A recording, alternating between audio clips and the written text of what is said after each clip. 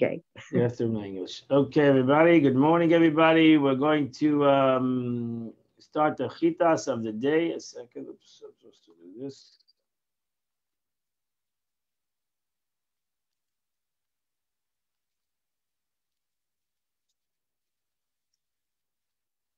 Okay. We're going to go to uh, the chitas of the day.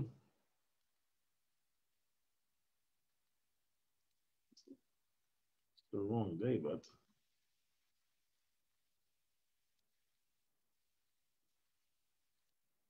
Okay, we're holding the portion of Tzav, and we are holding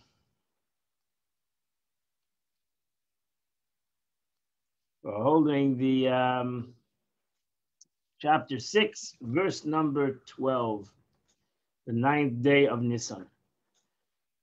Dabar Shalom Moshe Levi Sagatsa to Moshe saying, Zeh Korban Aaron Ovanov, this is the sacrifice for Aaron and his sons. Asher Yaakov Lavaye, which will bring to the to, to God B'yemi Mashach in the day that he is anointed. Hasira Seifa, he's going to bring a, a one tenth of an ephah of flour.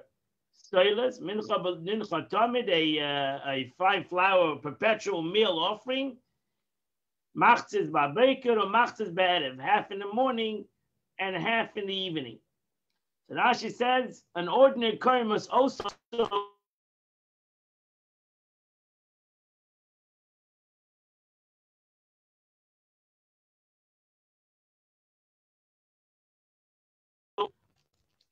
However, I'm sorry, I froze.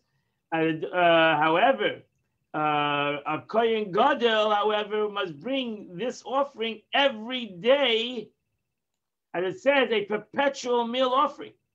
The Kohen who is anointed instead of in from amongst his sons as an eternal stature.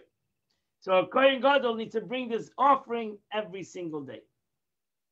Verse 14. Al machbas bashem, she made in oil in a shallow pan. Teyasa. Maravechas, you have to bring it scalding and repeat it baked. To nufe, to nufia minchas pitim, he shall offer the meal of broken pieces. Akiv. So that says, what does that mean? Scalding, boiling water is poured over it, over the dough until it's thoroughly scalding. Tifini means baked many times over, namely after the scalding. He bakes it in an oven and afterward he fries it in a shallow pan. Minchas pitim, this is teaches requires breaking up. And old Rashi, this is contains not only bake, breaking offering into separate pieces and crumbs, since it's not scooped. He folds it into two and folds it again into four. These are soft challahs. These are soft matzahs vertically and then horizontally. However, he does not separate into pieces. It, it, it is this form, he burns it the, as an offering. I'm going to show you a picture. So we'll be able to get a, another, a, a, a little understanding in it. Let me see if I got the right picture.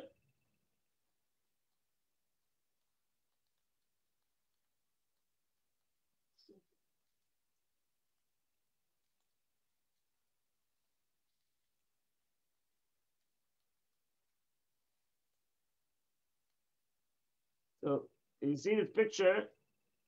This is preparing mincha. It's a mach mafis tanner. This is uh, you, you, you, this is way you do it. Second, let's see if I can find another picture.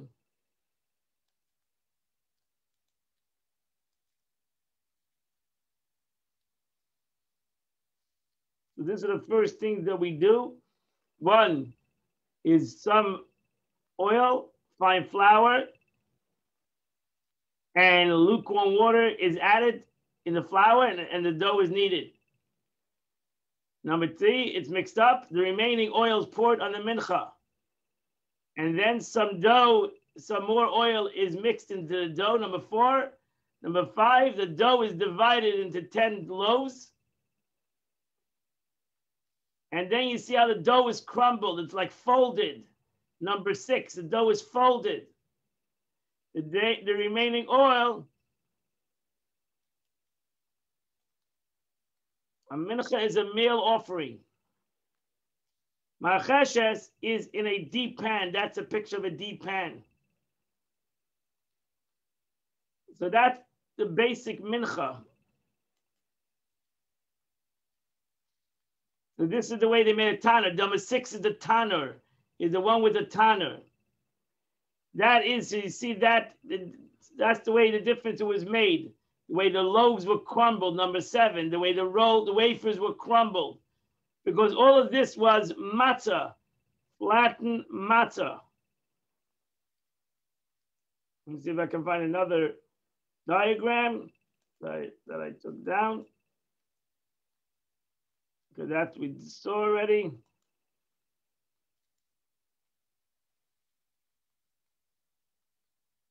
See, this is, uh, you see, it, you see over here, boiling water is poured over the dough, cooking it. You see that? So it was cooked. It was first boiled boiling water. We just mentioned. in, we just mentioned part number four. Number five, the dough was divided into loaves and then it was baked in the oven. Or the loaves, the loaves are fried in the remaining oil in the frying pan. So this you see the way it's baked again. It's first broiled in water. That's number four. Number five, it's separated into pieces. Number six, it's baked in the oven. Number seven, it's fried on a frying pan. Okay, that's you see all these things, all the, the different uh, this, uh, different things that were done on a mincha, on a mincha. Verse number not number fifteen. And the kohen anointed instead of him from amongst his, his sons shall prepare it. Hashem. It's a eternal statue to God. Kolil tiktar had to be totally brought to Mizbeach and totally consumed the Mizbeach. So Rashi says this is to be understood as, as uh, to be transposed. The Kohen who is anointed from among his sons, instead of him, every Kohen Gadol needs to do that. Verse number 16. V'chol minchas Kohen, every meal offering, a mincha is a meal offering of a Kohen, of a Kohen, Karlil Tia, it's the Kohen shall be completely burnt. It's not eaten by anybody.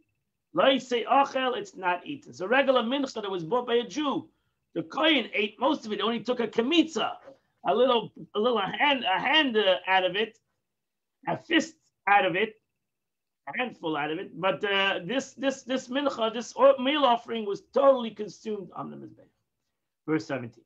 God spoke to Moses saying, Speak to Aaron and sons, you should tell them, This is the law of a sin offering. The place where you sort of the the the the the, the Eila, the burnt offering, you shall do the sin offering. Now Hashem before God, Kodesh Kadoshim, this sacrifice is called Holy of Holies. And then you're gonna see as you listen to the Torah, there's some sacrifices that are called Holy of Holies. There's some sacrifices that are called holy. And there are different laws to each of these sacrifices. Verse 19. After he said the, the kohen who offers it. He has to eat it in a holy place. So, number one, you'll see right away that a, a, a, sacrifice that's considered holy of holies needs to be brought, needs to be eaten in the Beis Hamikdash, in the in, in the chutzah, in the courtyard of the Beis Hamikdash. The Rashi says, "The machta isa eva evideh shinasa chatas ayodei" means the kohen who does the the service. Any kohen fit for the service, this comes to exclude a kohen who is unclean the time of the dashing of the blood, who does not take care, take share in the flesh. It's impossible to say that the verse prohibits other kohanim from eating, as I mentioned before. That other kohanim that have a that have a blemish, they can't do the service. They're allowed to eat from the sacrifice. Only some a kohen who is impure. Verse number twenty. Whoever touches the flesh shall become holy. And if any blood is sprinkled on the garment, upon which it is sprinkled, you shall wash in the holy place. And can you imagine that since they were doing the sacrificial offerings in the, in the temple, blood splattered all on them, And the Torah is telling us you basically can just take this out, can walk out with this garment once blood of the sacrifice was sprinkled on their clothes. The Rashi says, what does it mean? Anyone who touches its flesh, any item of food that touches it and absorbs from it becomes holy. Yidash, it comes like it insofar as the sin offering is invalid. It, it, it, whatever touches the sin offering becomes invalid. And if that sin offering is valid, whatever touches the sin offering must be eaten under the same stringencies as the sin offering. Rashi says, "Vashayaza midam ala beged." Usually, and what will be sprinkled, which would mean that the blood must be sprinkled on the garment. Therefore, Rashi remarks, "Ashe is mean if." The verse says, "And if some blood is sprinkled on the garment, you have to sprinkle blood on a garment." This is the garment which is sprinkled shall be washed within the court of the temple. And as I told you, they had in the in the, in the Beis. I don't know exactly they had in the Mishkan, but in the Beis Hamikdash there was a place where they did all the clothes of the Kohen Gadol and on the clothes of the Kohanim. They, before they left the the the, the, the Beis Hamikdash, they gave their garments that they wore. It was taken care for them, cleansed, put away, and they would come the next day and they would have fresh new garments. Asher Yazeh, Rashi says Yazeh a passive form of having meaning to be sprinkled. Verse 21. And an earthen vessel which is cooked. When you take a when you, you cook the, the sacrifice in an earthen vessel, it shall be broken.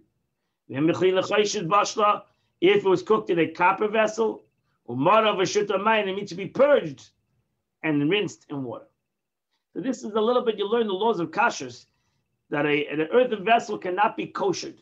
It needs to be broken, thrown away. And a, uh, like a, like a chinaware. And a, and a, a metal vessel can be purged. The Rashi says because absorption absorbed the vessel became noisar. Problem is, that means they had a lot of earthen vessels in, in the of Hamikdash. Because after the they used to cook in these vessels, the food, or if the hot is to come, if, get, if they ate the food hot, so the vessel absorbs some of the, the, the, of the of the sacrifice, and and and the sacrifice had to be eaten by some sacrifices only only one day. So now everything that's absorbed in in, in, the, in this in this uh, in this vessel is nice it's left over, so you're not allowed to leave over. So if it's an earthen vessel, you have to destroy it. If it's if it's a metal vessel, you have to kasher it. So that's what it means to be purged. Expression of steaming in the same root is so how do you purge something, a metal vessel that hot water that was cooked with, like in metal pot today? How do you kasher by dipping into boiling water? How do you kasher uh, uh, uh, a, earthen vessel? You can't kasher it. So that's the difference. Here you have the law. So that's what the situation. So if they use earthen vessels, it was destroyed if it was used, it was it, it, it was used, and there was a certain place in the Beis Hamikdash where they buried all these earthen vessels they had a lot of them. There were a lot of sacrifices. So Rashi says, purged and rinsed to expression of, of its to expel its absorption. This indicates a metal vessel. But earthenware vessel, the scripture teaches us here, it requires to be broken. It never rids itself of its defect. So therefore, we cannot kasher um, any chinaware for example. The only way you can kasha chinaware is by putting it in a kiln, maybe. But you cannot kasha chinaware. Verse 22. All male among the Kehanim will eat it. Kodesh Kadoshim he achatas is a holy offense. So that's the way. Why did say it again? All the sons of the Kehanim eat it. From here we learn that the Kohen who offers it up as a sin burnt shall eat it, stated above, does not come to exclude all kehanim, but exclude one who is unfit to offer up the sin offering. Verse number 20. Any sin offering that's brought, that whose blood is brought into the tent of meeting, the to atone the holy, the holy, in the holy. shall not be eaten, it shall be burnt by fire.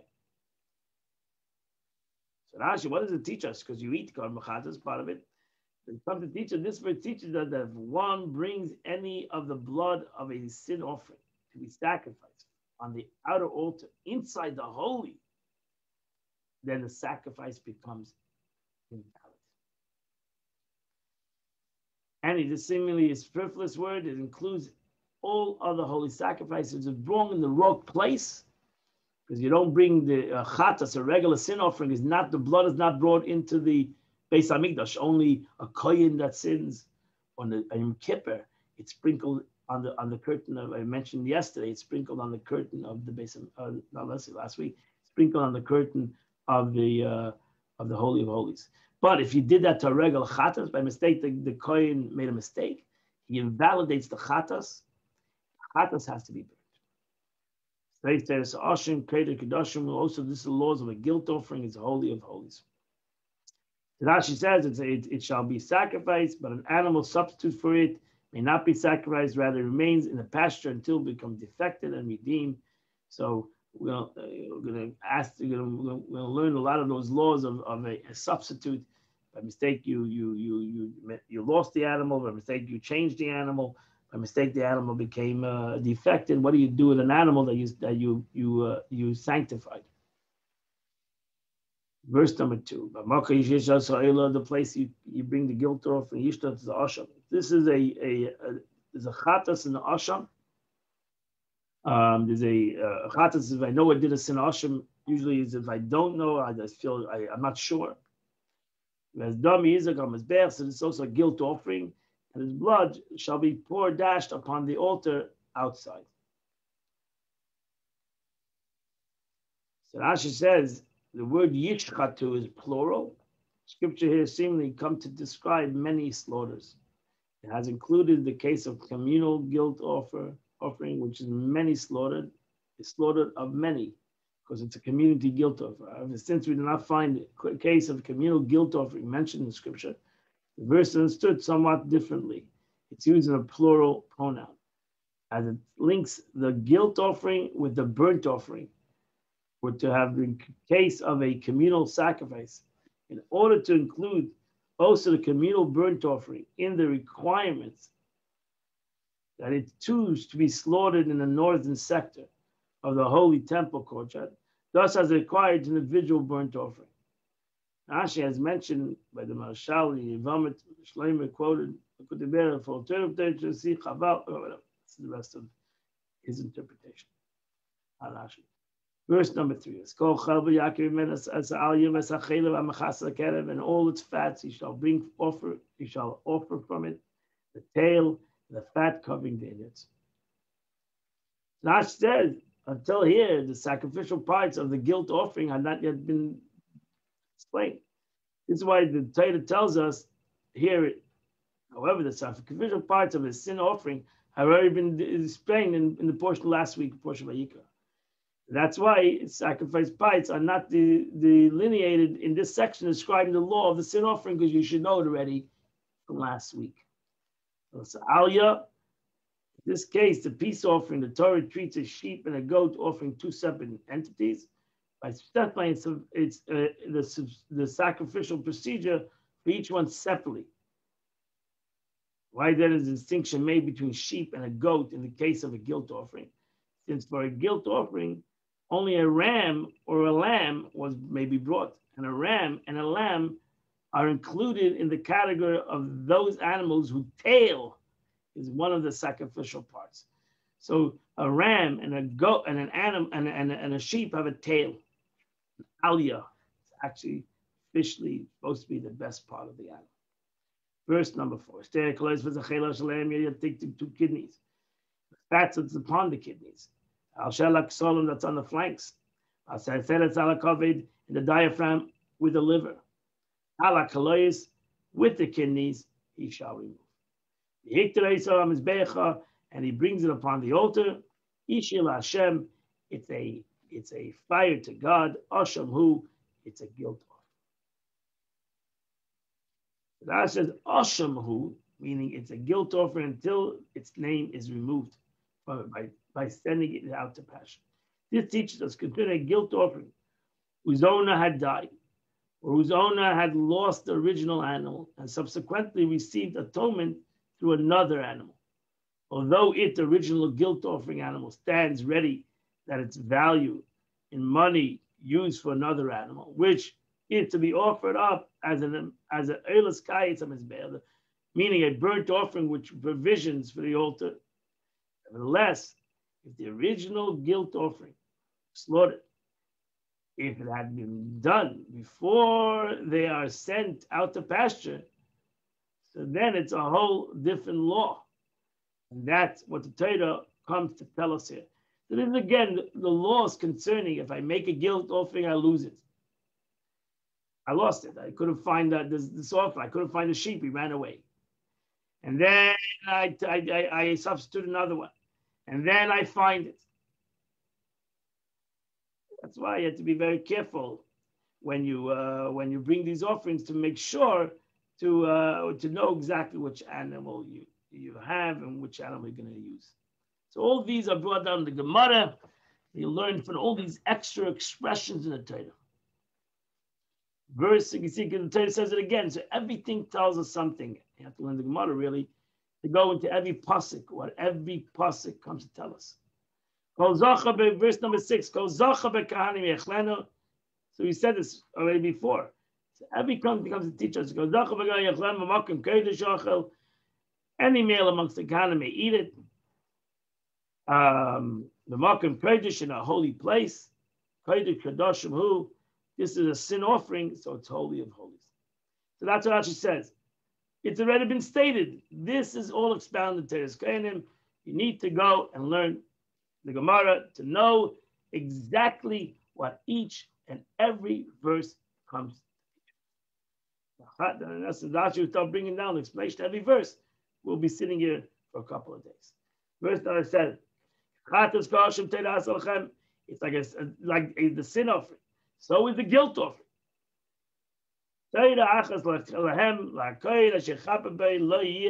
There's one law to the Kohen who, who brings the atonement sacrifice will belong to him, and he's allowed to eat from it. So again, Torah tell tell that the kohen, uh, the kohen that, that can bring part of the sacrifices, they have the right to eat it. Comes to exclude somebody who's impure. Verse number eight. Er, er, er, a kohen who brings an offering of a burnt offering for a person, the skin of the burnt offering,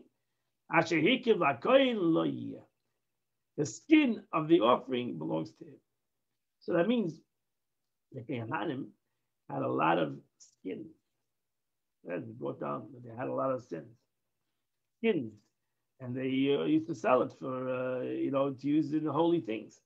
So they, this was a major thing for them that they had all these skins that they can basically then use for holy things.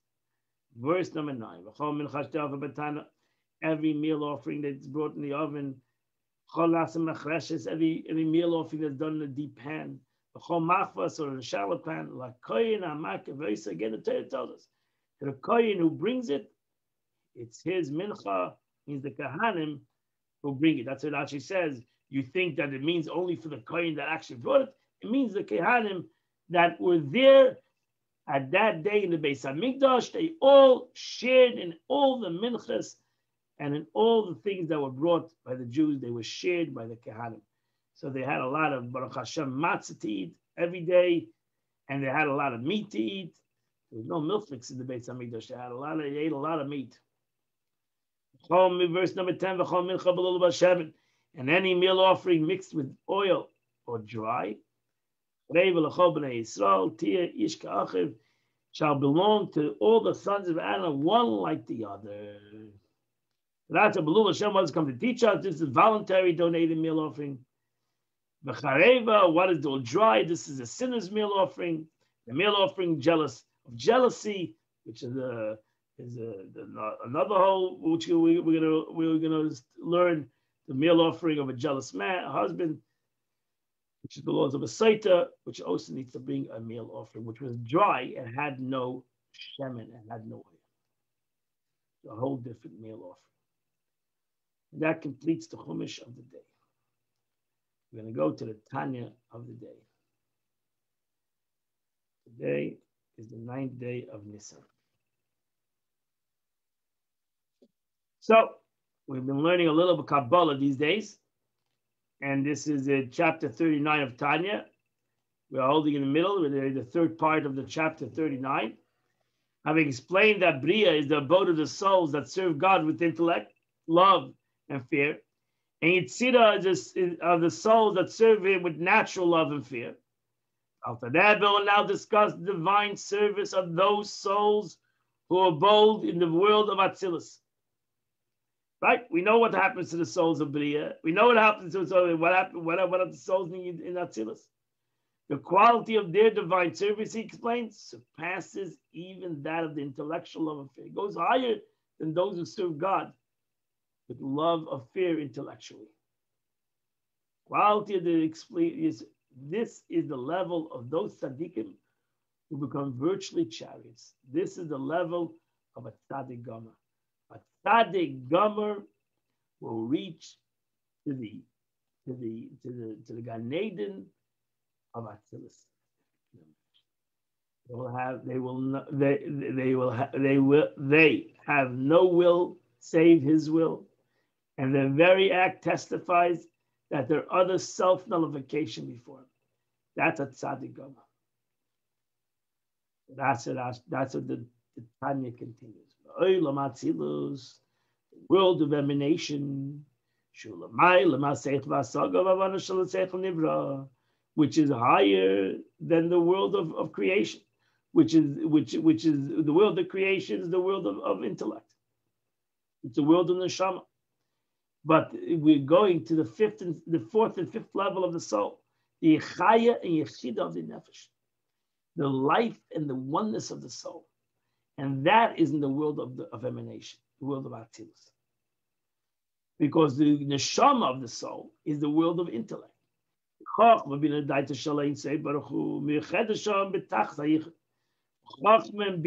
And das in the in in in, in God over there it's united with Him in perfect unity.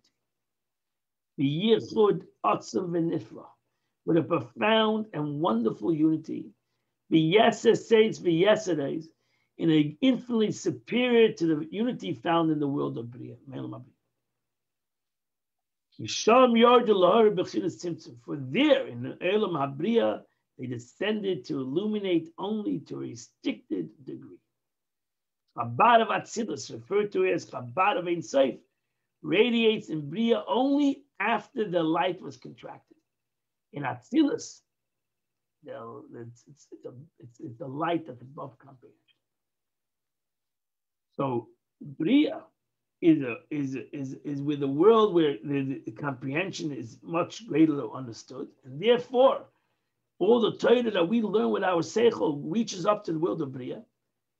We would have a total connection to God, like we were chariots of the Eibushter, that we did more than we comprehended. We did above our comprehension. Our our whole whole essence was connected to God in every aspect of our life not because we comprehended, not because we understood, even though we, reached up to the levels of understanding, the highest levels of understanding, we still had, as David HaMelech said, nafshi, my soul is thirsting for you.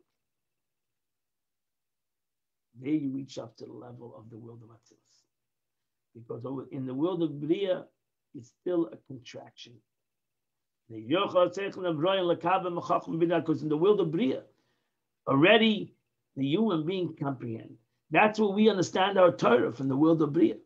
That's what a tzaddik even understands his Torah from the world of Bria. The, tzaddik has the capability to reach up even higher than the world of Bria. Later, Hashem, on the world of Bria, so that Silas, the world of emanation, has to contract itself so that to be able that a human being to come into the world of, of, of, of creation so that the human being's brain can comprehend godliness. According to the extent of the intellect, finite intellect of human beings, which created beings, which they're capable of understanding. So that they wouldn't become to achieve the purpose, a contraction of Chabad of Atzilus was necessary, lest they, the created beings of Bria, dissolve out of existence. Unless they foremost cease to exist, altogether exist. As created being, reverted instead to their source root, namely God itself. So that's why between the world of Atzilus, that's why it's explained in Kabbalah that Bria, Yitzir, and Asiya, these three lower levels of the world, the world of creation, the world of formation, and the world of action are Seder Shtalshut. They are like step by step, one connected to the other. But going from the world of emanation to the world of creation is a leap. There's an unbelievable contraction between the world of, of, Atzilus and the world of, of, uh, of, uh, of, of Bria. That's why the Alter Rebbe in the beginning of Tanya explains that at tzaddik, the difference, there's so many levels of tzaddikim. And the difference between a tzaddik gomer and a tzaddik she'ena gomer is a great, vast difference. So even a, between a, a, a, complete tzaddik and a, and a regular tzaddik, there's a there's a there's like no comparison between the two. A tzaddik gomer has no evil. He's totally nullified to God. That's how the Tanya explained the tzaddik gomer, complete tzaddik. A tzaddik she'ena gomer, he's righteous, but he still has a concept of evil. That's why a tzegel, a tzaddik, can reach up to the world of Bria, because he, his service to God, of love of God, is based on his intellect. Tzaddik gomer has reached up to the world of Atzilus. And he is totally a macabre to the age. He's totally a chariot of God his whole will, his whole desire is but God, because he's killed, as, as the Gemara says, David HaMelech says, I killed my Yetzirah too fast. He kills his evil inclination. Imagine such. So that's why between Atzilus, the world of Atzilus, and the world of Bria, you have a great contraction. So that's why the Alter Rebbe said, "V'hine tzimtzum zeh." This contraction, he sibes ha'ora shemir sham chachma bin But that's how it's possible through this contraction that in the world of bria we can have a comprehension. We all can comprehend to the world of bria. That's why it says we mentioned before that even a regular Jew on Shabbos will go up to the world of bria, because since in the world of bria is the capability of godly comprehension. To every person to his capability. That's why every one of us, even if we're not totally righteous, we will we will all on Shabbos and Rosh Chodesh have a elevation to the world of Bria. Again, in essence, everything you do today happens will happen whether in Gan Eden or the world to come. So today we live the week, and on Shabbos we go higher. So too, in Gan Eden or in the world to come, on Shabbos we'll always go higher. Shabbos is holy. Shabbos, we reach up to the world of Bria. But that's the highest we'll reach, is to the world of Bria. Enkim, Gatzilus, great integrals of Bria cannot, however, apprehend the Chabad as they are in the undimmed intensity of the world of Atzilus. That's why there's a story in the Gemara that there was a, a great Tana who wanted to go into the portal of Abshima Yachai. And they said, no, no, no, to this portal, you can't come into. So even in Gan Eden, this tzaddik, Tana, wanted to go into high, wanted to go into the portal of Abshim Yachai. He couldn't get into it because it's just too intense, intense light. Over there, the light shines above Seichel, and even the soul, the way he's Lamaila, can, will not be able to receive this light. Therefore, it's impossible for human comprehension to be able to receive it. So even though he, he's, a, he's a soul right now, he's not he's not a physical body, but he still has a soul. As he mentioned before, a soul has its own entity. Not that we think and we have comprehension in our body because we have a soul. So the body, the soul fits the body. That my soul fits my intellect. Like everything in my soul fits every part of my physical body. Now, if I'm if I'm sick, that's when my soul is something. There's a there's a miscommunication between my soul and my body. Might be too much light. So that's that's the less mashava tisve klal some cloud. Therefore, there's no thought that can grasp there at all. The thought of intellectual and creative beings in Bria can in no way grasp the light of the rays of. For this reason, the world of Atzilus is the vote of really great tzaddik. Because it's those tzaddikim that in their lifetime, they reached up to a level of being totally bottled to God.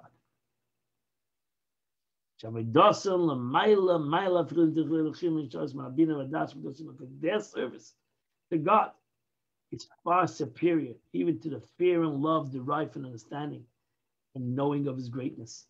Their service in this world is a whole different level. The service is totally given over to God, and you can see it in the way they serve the Kadosh Baruch. Total nullified to God. Like the Jewish people saw Moshe Rabbeinu. Total nullified to God. Dust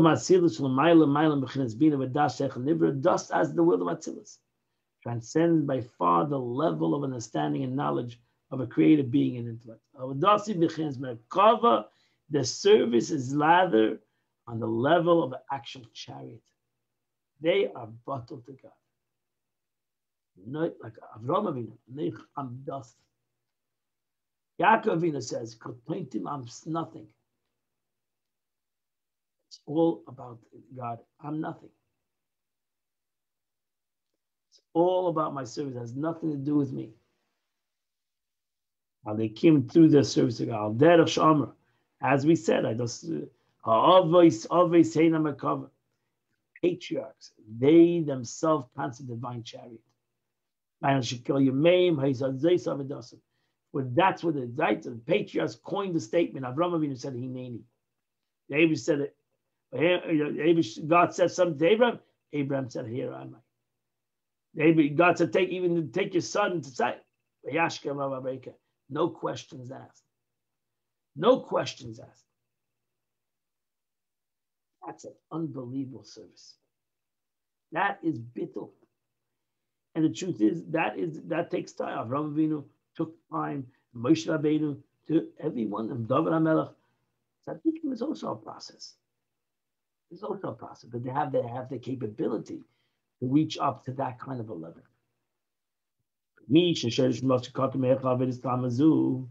But whose souls, 99% of us are these kind of souls, whose soul's root is too limited capacity for this perfect service.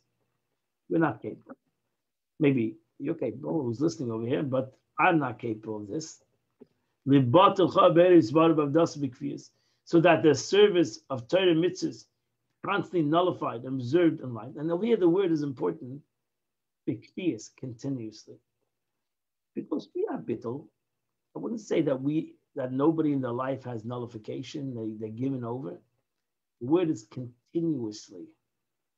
But Tzaddik Gomer doesn't have the Yetzer Hara. So he's continuously, there's no interruptions. It's a continuous, there's no vacation to touch a person. He is continuously involved. That's the trick.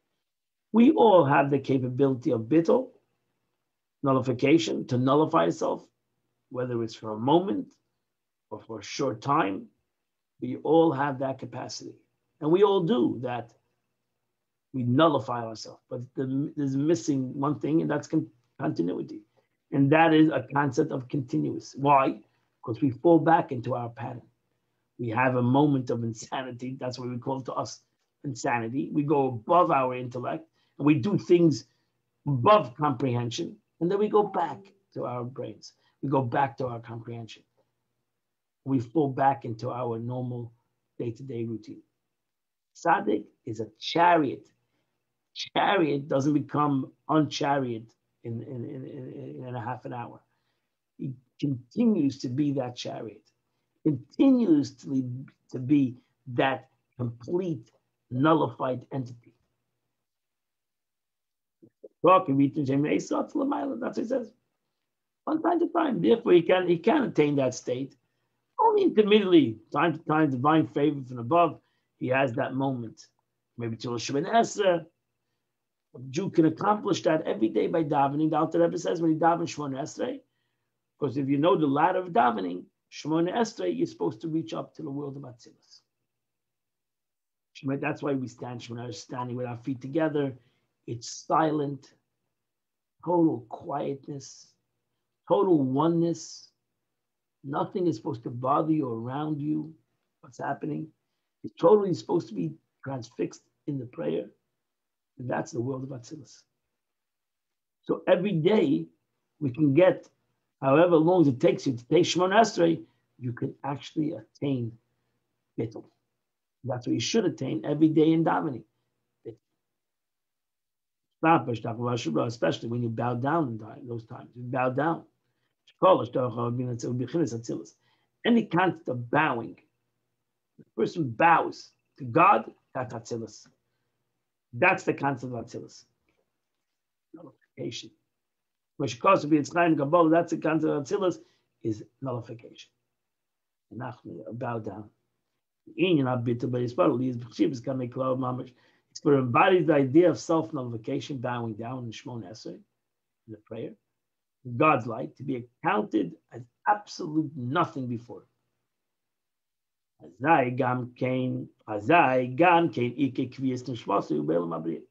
Even at, but ultimately, even at that moment that you have a moment of, of nullification, where are you standing in the Olam Abriya? You still, your soul is still in the Olam Abriya. And it nullifies itself. It gives a little, it gives a little dip into the Olam Atzilus. But the root, your soul is still in the Olam Atzilus. In Olam Abriya. You're still in the world of creation. But you're dipping in to the world of emanation. Tzaddik Gomer is in the world of emanation. He's not, he's not like pushing his head in there. He's totally in there. At that time, he's still, uh, in any event, at that time, the principal abode of his soul, the highest his soul can go, is in Olam Habriya. Even if he's a tzaddik, if he's not a tzaddik gomer, he's not like a makava, like the patriarchs, then his soul cannot reach up to the world of Atzilus. Broken base rotzin, the Alter Rebbe puts in parentheses, there are times God can allow your soul to go in Elam Atzilus. Up to Him. It's good to be king. Only on occasion, at times of divine favor, will his soul rise to Atzilus as feminine waters, as is known to the students of Kabbalah. I don't know about it, so I'm not a student of Kabbalah, and I can't tell you when that happens. That ends the Tanya of the day. What a beautiful, such beautiful Tanyas, such beautiful teaching of Tanyas these days. Beautiful. Today is the uh, ninth day of the month of uh, Nisan. Pesach is coming very close. So, my friends, the Tehillim of the day is chapter 49, 50, 51, 52, 53, 54. So 49 to 54, and you would have done Chitas of. I wish you all a wonderful, happy, and healthy day. God bless you all. See you tomorrow at 8 a.m. for Chitas of the day. Thank you, Rabbi.